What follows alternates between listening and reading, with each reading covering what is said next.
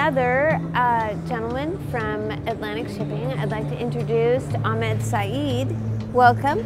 Now, we talked to your colleague from Sudan, and you're based in Dubai.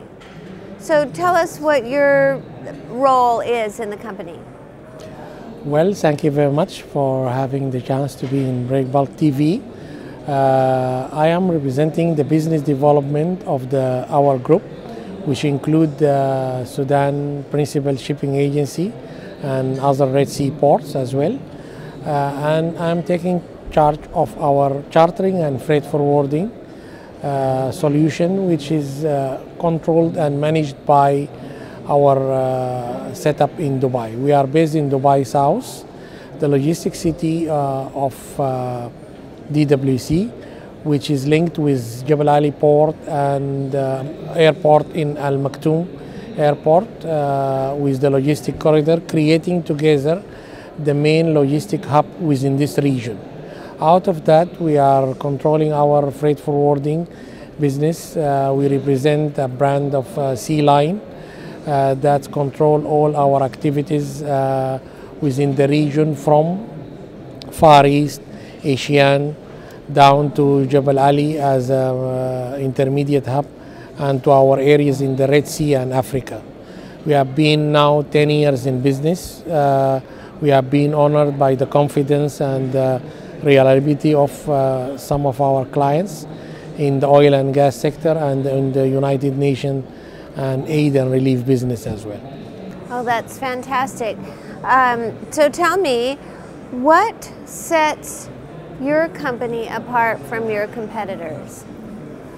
Uh, we are a growing setup uh, in a sense that we are a company that work dedicated to our clients. We have a couple of good accounts. Uh, they grow with us uh, in the supply chain solutions, in the oil and gas. Uh, they need our service in remote areas where others are declined to operate, areas like on Africa's and Middle East. From that point, we feel our strength is to give uh, service to those clients where they cannot find any other alternatives.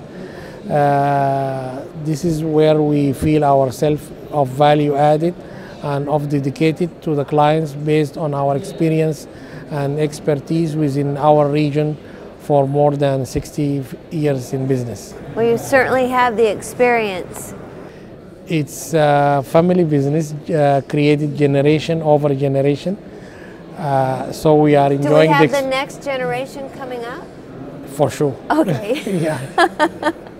well, it's so great to talk to you about your company and it's fascinating. I like I like that you focused on that sort of niche area. Yeah, yeah. That has been always a point where we used to sell and market to our clients. Not a matter of marketing. We always used to tell to our clients we are your logistics partners rather than a service provider and we give you a market leads and market uh, ideas about the areas where uh, it might not be available to other uh, service provider, very remote areas full of challenge, complications.